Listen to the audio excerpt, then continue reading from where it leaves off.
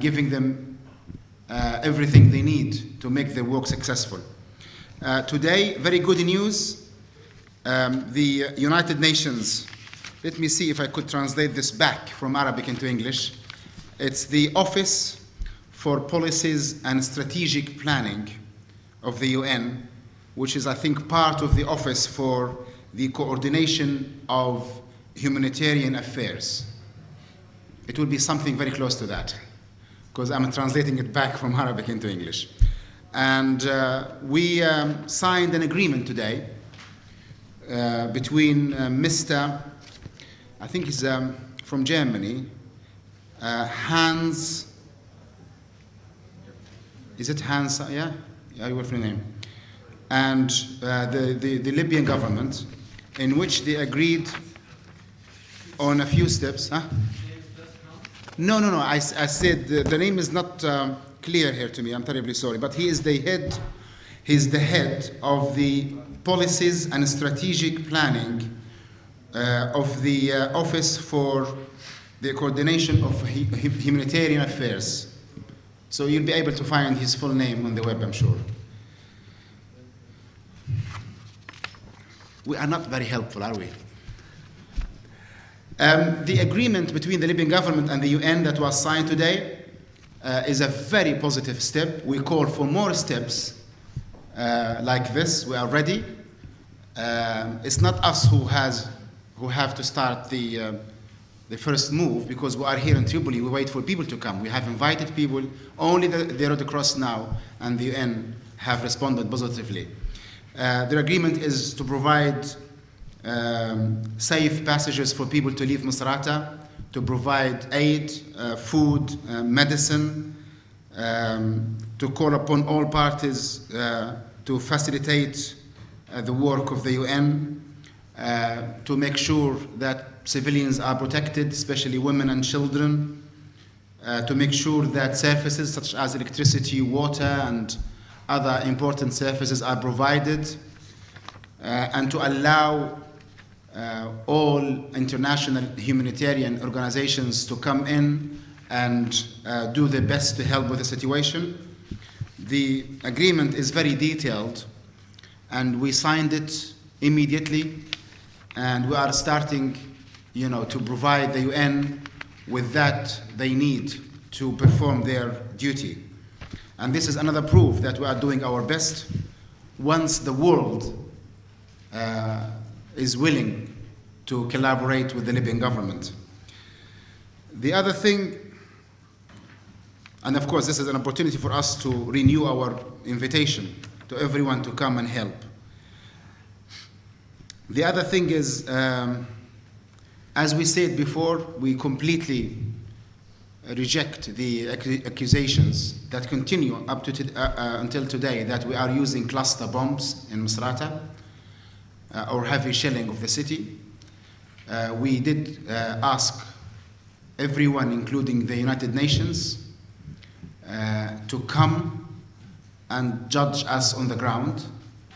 A call that has been ignored again and again and again and again. We called for this when it was claimed that civilians were being killed by our army. We called for observers and fact-finding missions when it was claimed that we bombarded Tripoli and destroyed whole neighborhoods of Tripoli. We did call for observers and fact-finding missions when we were accused of using mercenaries. None of our calls was responded to positively. Again, we are accused with another crime, which is using cluster bombs against our civilian population. We find this outrageous. Uh, our religion, our culture, uh, our army, which is a regular traditional army, taught to respect human life like other traditional armies, taught to respect military rules, the rules of war, international agreements, not like the armed gangs, which belong to radical ideologies with little respect for human life. All of these factors, you know, make us um, or help us not to commit such a crime. the Libyan army is composed, is made of Libyan tribes. It is not one tribe controlling the Libyan army. It's all Libyan tribes, and all Libyan tribes cannot kill or murder Libyan tribes. It doesn't work logically. The army would not follow orders to kill civilians because this is the army of the nation, not the army of one person. The other thing, before I allow uh, people to come in and make their statements, um, is that we believe NATO is um, going very much beyond the United Nations Security Council Resolution 1973. It's clear now to everyone, we don't even have to prove this, that NATO is supporting the rebels, is allowing them to advance against our army, is providing them with air cover. NATO knows very well about arming the rebels by the Qatari government, and NATO is allowing that. NATO is uh, NATO knows now by now about Al Qaeda activities in Benghazi, Darna, and Al Bayda. Uh, NATO knows now very well that Al Qaeda fighters are advancing westbound. Uh, Al Qaeda itself has admitted many times that it lost fighters uh, in Libya. Al Zawahiri, you all know Al Zawahiri, the second man in Al Qaeda, made a recording. I'm not sure how many of you uh, are aware of this, in which he talked about jihad in Libya and he said that Al Qaeda fighters are at the forefront of fighting Gaddafi in Libya. This is the second man, only second to Bin Laden. And he said Al Qaeda is at the forefront of fighting Gaddafi in Libya. And he said, of course, we should never forget that our enemy is not only Gaddafi, but also the Crusader armies of the West. So for him, it's a question of finishing Gaddafi and then turning his back to fight the West, just like they did in Russia when they fought the Russians or the Soviet Union, and then they turned their back to fight the Americans. Um,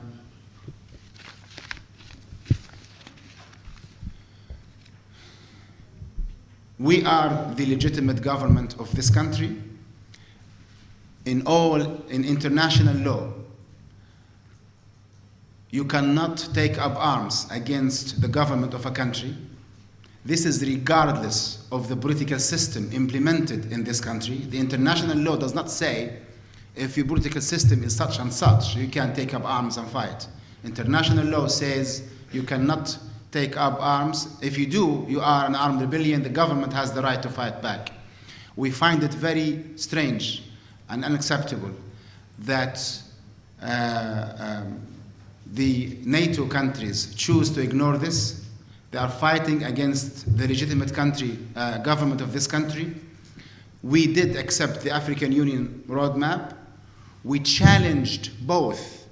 We challenged both the coalition governments and the rebels to come to the negotiation table. We challenge both to accept the African Union roadmap because we said we know if Libyan, if the Libyan people are free to choose, the rebels will lose. And NATO will lose. They know that. And we said we challenge you, come, do not have preconditions, because preconditions indicate agendas, indicate that you do not want Libyans to decide for themselves.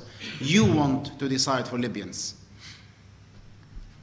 Sit down Let's talk, agree on the terms of elections, referendum, any political process, and let us, let us see who the Libyan people choose and what kind of political system they elect.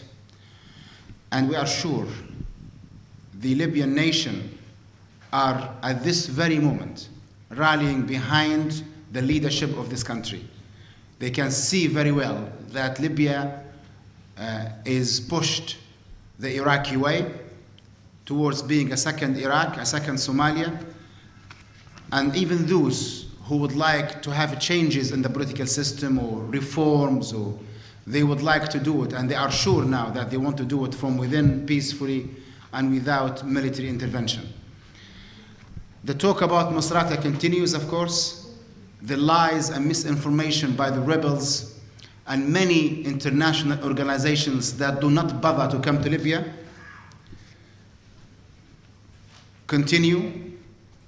Uh, we are uh, outraged by these organizations that do not respond positively to our calls for them to come to Tripoli, establish their offices, and go to Misrata and report from the ground.